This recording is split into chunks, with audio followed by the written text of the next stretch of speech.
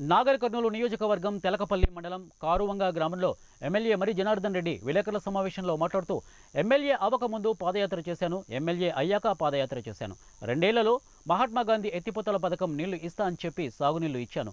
పదేళ్ళు కాంగ్రెస్ నాయకులు కన్నీళ్ళు మిగిల్చారు. గతంలో ఎమ్మెల్యేలు వస్తే ముళ్ళకంపలు పెట్టే పరిస్థితులు ఉండేవి. ఇక ప్రతి చోట సమస్యలు ఉండడం సహజం. వాటిని నిరంతరం పరిష్కారానికి చేస్తూనే ఉండటం నాయకుడి ధర్మం.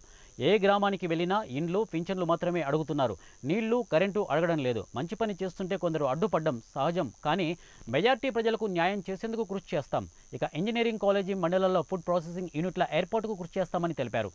రాజకీయాలకు డబ్బు పదవి కోసం రాలేదు. ప్రజాసేవ శ్రేయస్సు కోసమే వచ్చామని నెలలో నెట్టెం రిజర్వాయర్ ప్రారంభిస్తామని చెప్పారు. దీనివల్ల ఒకటి పాయింట్ ఏడు ఐదు లక్షల ఎకరాలకు సాగునీళ్ళు వస్తాయి. గతంలో భూములు నీళ్ళు లేక నెర్రలు ఇచ్చుకునేవి. ఇప్పుడు నీళ్ళు భూమిలో నుండి ఉబికి వస్తున్నాయి.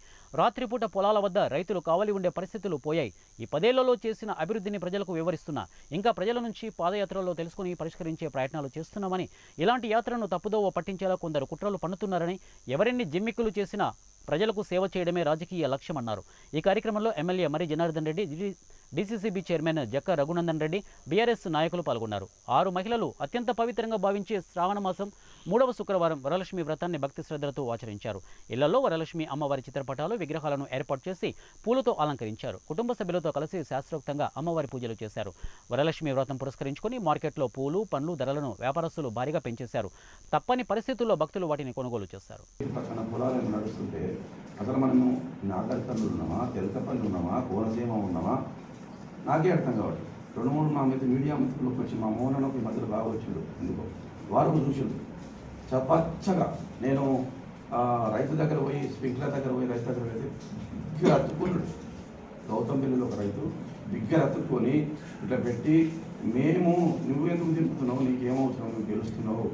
పాదయాత్ర ఎందుకు చేస్తున్నావు? అంటే రియల్గా నాకు చాలా దుఃఖం చెప్పాలి అంటే నేను ఆయనకు చెప్పిన నేను గెలుపుల గురించి మీడియా గురించి చేస్తాను నా సంక్షేమం ఇది ఇప్పుడు ఇది పడుతున్నటువంటి కష్టం మా నాన్న ఇంత చిన్నప్పుడే పడ్డాడు.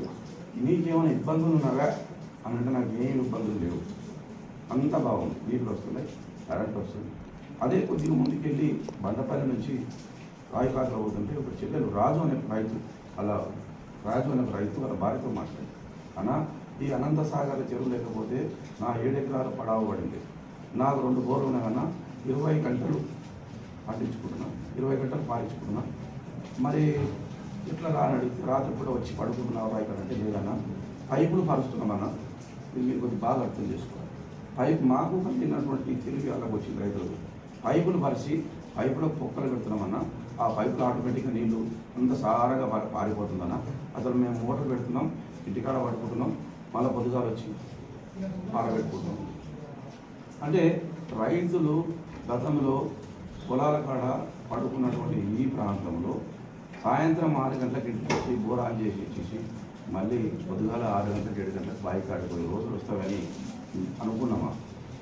ఇవాళ దిగుబడి విషయానికి వస్తే నాగరికర్ణంలో గతంలో ఎన్ని ఓట్లు పండేది ఇప్పుడు ఎన్ని ఓట్లు పడుతున్నాయి? గతంలో ఎంత కాటన్ పండేది ఇప్పుడు ఎంత కాటన్ పండుతుంది? ఆ ఆ పెద్దపల్లి